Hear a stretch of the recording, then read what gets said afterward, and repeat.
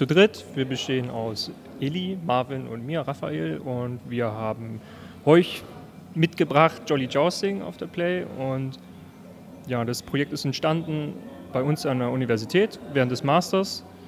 Und wir haben das an der Burg Giebichenstein Kunsthochschule in Halle entwickelt. Das Besondere daran ist, dass wir die virtuelle mit der analogen Welt irgendwie verbinden. Wir geben den Teilnehmern ähm, Lanzen und Pferdchen äh, und Rüstungen in die Hand, mit denen sie sich ausrüsten müssen und dann halt gegeneinander antreten müssen über drei Runden. Die Play ist eigentlich für uns eine große Möglichkeit, an einem äh, breit gefächerten Publikum äh, heranzutreten mit unserem Spiel und äh, denen zuzuschauen, wie sie Spaß haben, hoffentlich. Und das tun sie auch bisher. Ähm, und was wir besonders spannend an der Play finden, ist eigentlich, dass es eben genau dieses breit gefächerte Publikum uns bietet. Es ist dann alles dabei, von äh, Lehrenden, Schülern bis auch Leute von der Industrie, was dann viele Möglichkeiten bietet. Musik